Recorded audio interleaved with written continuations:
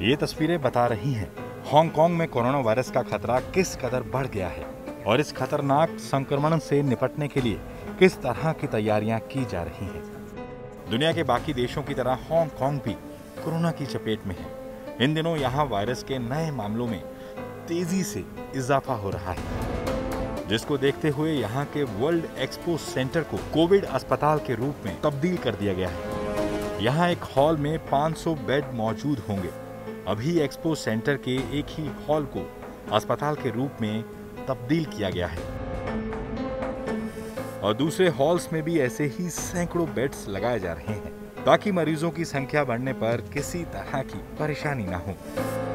पहले हॉल में 18 से 60 साल के मरीजों का इलाज किया जाएगा। यहाँ 24 घंटे डॉक्टरों की मौजूदगी रहेगी, ताकि किसी भी मरीज़ को किसी भी समय कोई समस्या हो। तो उसका समाधान किया जा सके। इसके अलावा इस अस्पताल में एक्सरे और ब्लड टेस्ट जैसी दूसरी सुविधाएँ भी मौजूद रहेंगी। एक्सपो सेंटर में तीन दिन की देखरेख के बाद अगर किसी मरीज़ की हालत में सुधार नहीं होगा तो उसे अस्पताल में भेजा जाएगा। हांगकांग में इन दिनों कोरोना का खतरा बढ़ गया है।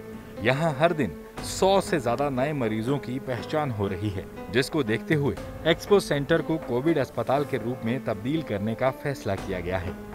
यहाँ चौंतीस सौ से ज़्यादा मरीजों की अब तक पहचान हो चुकी है और अब तक 31 लोग जान गंवा चुके हैं।